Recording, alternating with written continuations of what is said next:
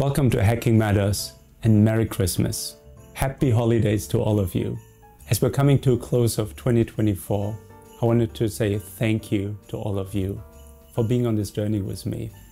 An exciting journey starting this channel this year that took an unexpected turn. It was meant to be a knowledge sharing resource between me and my consulting colleagues, and now it has a global audience and really good resonance from many of you. So thank you so much for getting me here and pushing me forward. Expect more of everything in 2025 more consulting tips, more hacking stories, and as a new addition, more external insights. There's so much good cyber knowledge out there, and it's sometimes hard to find, so allow me to be your guide. Speaking of great hacking insights, this week the German security community and many of our global friends are coming together at the CCC, the Chaos Communication Congress, this year in Hamburg. So I'm excited to see many of you there. And if you want to reminisce with me on past years of CCC, I'll be sharing for the remainder of this episode some of my favorite CCC episodes ever. Hopefully, some of them can inspire you to do more hacking research or hacking defense. Either way, thanks again for sending me on this journey and hope to see you soon in 2025. Happy hacking.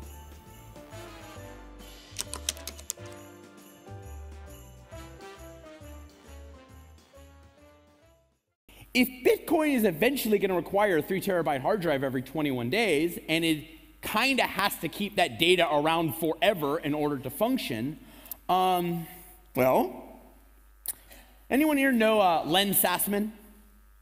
He used to speak here. Um, incredibly smart cryptographer. Uh, Len unfortunately passed away a few months ago. If you run strings on the list of all transactions that have ever happened in Bitcoin, um, you end up seeing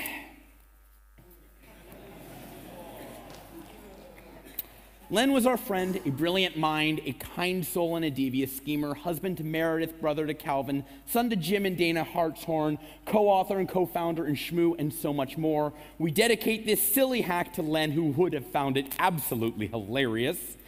Um, and just because, you know, one piece of ASCII art is not enough, um, we also put in a uh, ASCII art version of Ben Bernanke, the head of the Federal Reserve, because now Bitcoin depends on Ben Bernanke.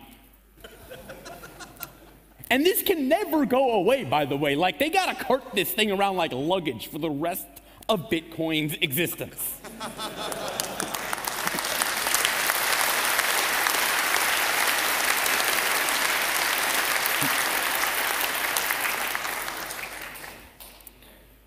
So, how this works. Um, in Bitcoin, Alice gives money to Bob by issuing sort of a challenge.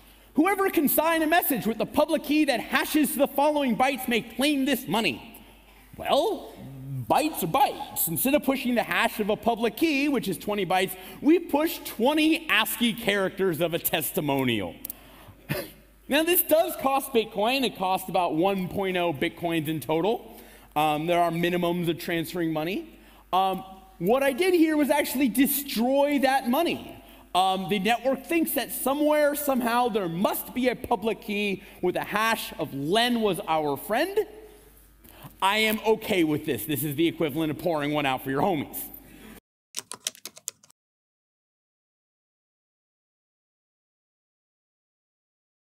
Like in the olden days, right, you had your big bad internet, but you're okay because you have this thing called the firewall, which protected your server against you know, Kid on the internet, right? And Kid sucks because, you know, it wants to take all your marbles and break into your server. And for the longest time, the name of the game was to get through or around the firewall so you can get access at the server and compromise it and have it do some interesting thing and maybe even exfiltrate some information. And that's what the, the network looked like. But if you paid attention to what's actually on this network, it's not just the server and this firewall. You have these things that look like computers, but you know, we call them printers, right, and phones. So in 2000 now, if I were to go after this network, um, I would go directly to the printer. I would, for example, use the HP RFU vulnerability that I talked about last year, send a very nice resume that would uh, change the firmware on the printer, And once I get uh, control of this device, I could, you know, steal all your super sensitive information that you print out of the thing, but really that's not my end goal. My goal is to use this as a launching off point so I can go and compromise other computers on your network, like this phone. And once I have access to all of these embedded systems, I can then use these guys to uh, attack the general purpose server on your network. And now if you, you come along and you notice that I've, I've owned your server, what you do is you'll, you'll probably wipe the server, and you know, I'll come back the next day, and own you through the phone again, for example. And I can also use these devices to exfiltrate sensitive information out of the network. So I saw this uh, newspaper article. I, this is a Wired article that I saw, I think, in February or March. And the story was that some guy broke into uh, this water pump station somewhere in Texas. It turned out actually not to be the case. But, and you know, these guys are, this guy's very serious about pointing at his computer and saying, I'm going to lock this system down and no hacker's going to get in here. Right? But when I saw this article, I realized that he's not even really looking in the same direction that he should be. Because behind his arm is the device that I would go after if I was able to get access to this network.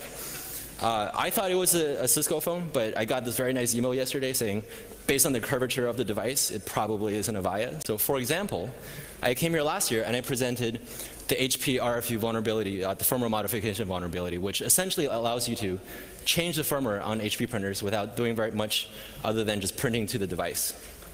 Um, the attack itself was fairly simple to make, but you know, I think we had real impact because this year, HP released firmware updates to more than 60 models of their firmware to their printers, all fixing this vulnerability. So because of the presentation and because of a community like this one that cares about embedded security, we've made some actual positive influence in the world. If something bad does happen on the phone, a kernel panic, the phone very usefully saves a core dump. So after the phone is finished rebooting, then we're able to get the core dump and look at the values of the registers and see what was going on on the phone. And it also gives us a list of the system calls that actually crashed the phone.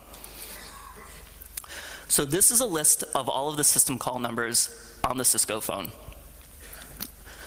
The ones in green here are all of the ones that are actually implemented. There's code behind them. There's actually system calls associated with them. All of the other ones are no sys. The ones in red are ones that actually cause kernel panics. Now, one of the things that I should have mentioned going into this is while we said that it was a fancy sysfuzzer, it was really naive. So basically, all we did was, even for system calls that would require more than one um, user argument, we only gave it one, and that argument was always eight zeros or one, two, three, four, five, six, seven, eight.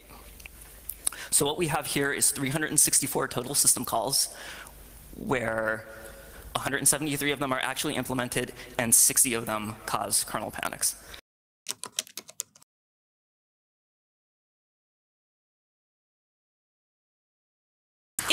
Tamagotchi forums, there are these vicious debates about things like, does your Tamagotchi's name affect what food it likes? Or, does how much a Tamagotchi sleep affect its happiness? And you know what? I want to put these to bed for once and for all. Also, of course, being a Tamagotchi fan, I want to cheat at Tamagotchi, have the richest and happiest Tamagotchis ever. And I thought it would be cool if it might be possible to um, get my own code to run on a Tamagotchi. You know how they make the TV-B-Gones that will turn off TVs using IR? Well, these things have IR. Maybe I could make a TV-B-Gotchi. And finally, I just wanted to have fun. I found a lot of ways to um, cheat at Tamagotchi um, using the IR, the EEPROM, or the figure ROM. I feel like I learned a lot of really interesting things about how Tamagotchis work and how they're programmed, but I'm still trying to dump the code. I'm still tampering with the figure ROM, and I am, hint, hint, looking for the test program.